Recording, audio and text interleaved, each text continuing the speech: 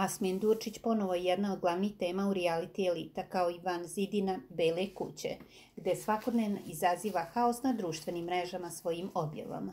Sada je ponovo digao veliku prašinu kada je javno obratio produkciji realitije i to sa ponudom.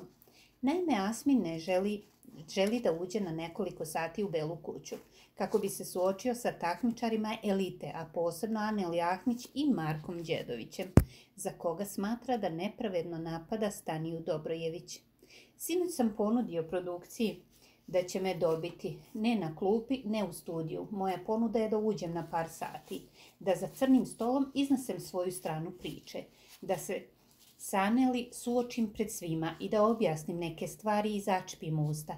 Započeo je Asmin pa nastavio i da Đedović više nikad ne spomene ime Stanija nakon mog izlaganja. Poručio je Durčić putem storije na društvenoj mreži Instagram. Inače, Aneli je sinoć u emisiji Pitanja gledalaca iznela Asminov prljav veš. Asmin je prijavljivao ranije svoju sestru, davno nešto.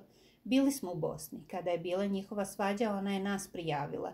Na granici nas je isto prijavila. Da li je jutro posle, odmah ili dva dana posle, imali smo kameru i videli smo dve žene. Znali smo da su iz socijalne službe. Spavele smo, ja i Nora. On je gledao kameru. Došle su dve žene. Otvorili smo vrata. Prvo su žene provirile kroz vrata, nisu htjele ni da uđu, jer su vidjele kakav je stan. Ona je navela da je stan neuredan, da je dete maltretirano. Nisu žene htjele ni ući.